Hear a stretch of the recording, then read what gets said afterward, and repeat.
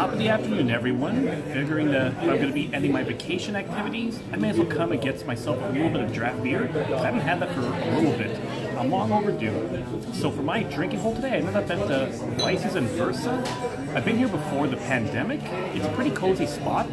If uh, you ever want to visit it, it's on Saint Laurent, just a little bit of north of Beaubien Street, which if you know me, you kind of know uh, I love that area and it's not far from actually it's actually around the border of Little Italy, so pretty close by too.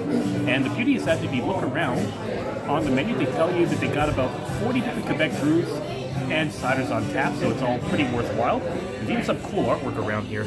Look behind me, I got this uh, portrait of Jimi Hendrix, Bruce Springsteen, uh, Leonard Cohen, I think. Hard for me to say, but pretty cozy atmosphere. Love the decor, and as you can see, you got the massive amount of brews here.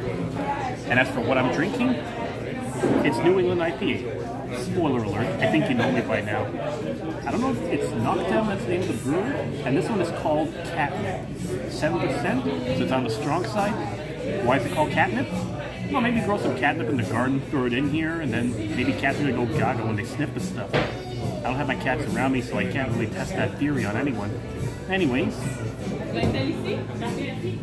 vacation is like all good things. All good things must come to an end, but it is what it is. So, cheers, everyone. Happy Sunday, happy weekend, and hope you have a smooth week.